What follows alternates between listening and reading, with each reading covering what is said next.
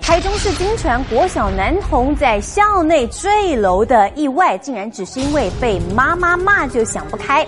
这一名国小五年级的男童，下午两点左右从学校五楼的楼顶坠落，送医之后不治身亡。男童的妈妈是学校的辅导老师，她发现儿子坠楼身亡，情绪当场崩溃。初步了解，意思是因为前一天晚上男童功课写太慢，被妈妈骂，才会想不开。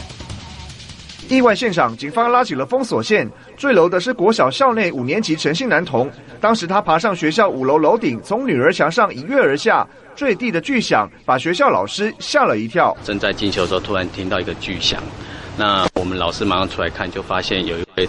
同学倒卧在中庭里面。男童的母亲是学校辅导老师，下午男童没课，留在辅导室写作业。他疑似前一天晚间写功课太慢，被妈妈责备，才会选择爬上五楼楼顶跳楼轻生，一直喊着孩子的名字，说叫孩子你你你你醒醒你醒醒这样子，是非常的妈妈是非常的着急，呃快要崩溃。